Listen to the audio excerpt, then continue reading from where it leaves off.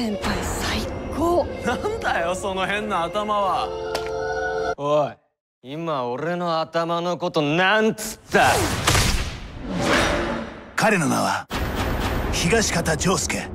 人は彼をジョジョと呼ぶ。彼は形ある超能力スタンドを操る高校生。その能力は破壊されたものを直すことができる。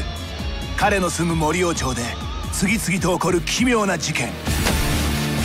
東方丈介この町に危険が迫っていることの証拠だ。事件の裏に潜む凶悪なスタンド使いたち。今大切なものを守るため。しげちゃん！大丈夫。傷は完璧に。いくつもの運命が動き出す。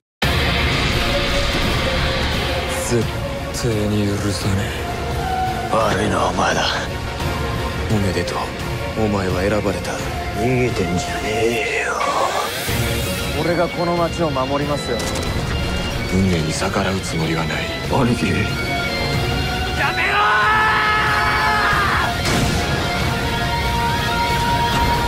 グレートだぜ